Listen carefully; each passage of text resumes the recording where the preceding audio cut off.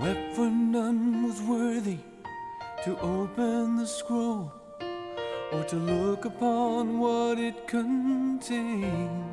And then a voice said, See the lion of the tribe of Judah. So I looked to the lion and saw a lamb that was slain.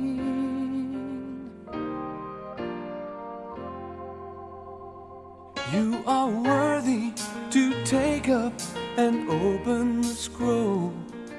For you are the lamb that was slain. Glory and honor to the one on the throne, to the lamb who lives and reigns.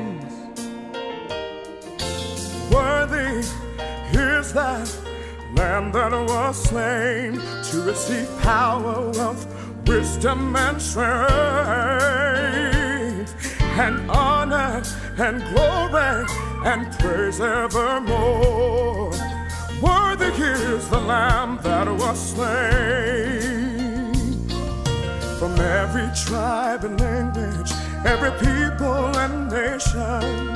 Your blood purchased men for God. Won them a kingdom by your salvation and made them priests to serve our God, to serve